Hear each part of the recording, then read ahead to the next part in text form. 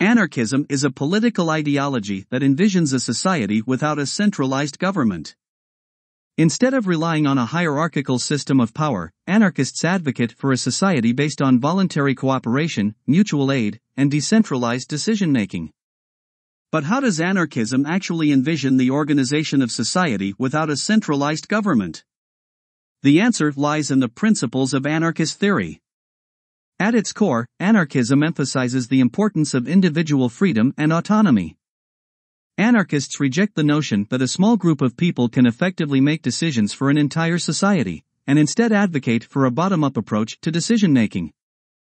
This means that decisions are made at the local level, with communities and individuals having a direct say in the matters that affect their lives.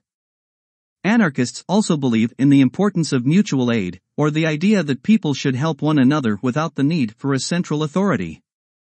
Mutual aid can take many forms, from sharing resources to providing emotional support, and is based on the belief that people are inherently capable of working together for the common good.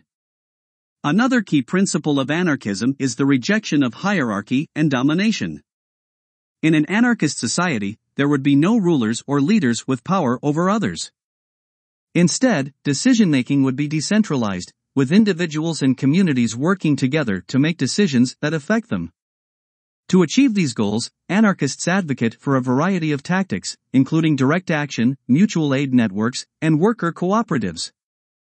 Direct action can take many forms, from protests to strikes, and is used to challenge oppressive structures and build alternative systems of power. Mutual aid networks and worker cooperatives are examples of alternative economic systems that prioritize cooperation and equality over profit and hierarchy. It's important to note that anarchism is not a monolithic ideology, and there are many different schools of thought within the anarchist tradition. Some anarchists believe in the importance of individualist anarchism, while others prioritize social anarchism or anarcho syndicalism. Despite these differences, however, all anarchists share a commitment to the principles of decentralization, mutual aid, and freedom. In conclusion, anarchism envisions a society without a centralized government, based on the principles of individual freedom, mutual aid, and decentralized decision making.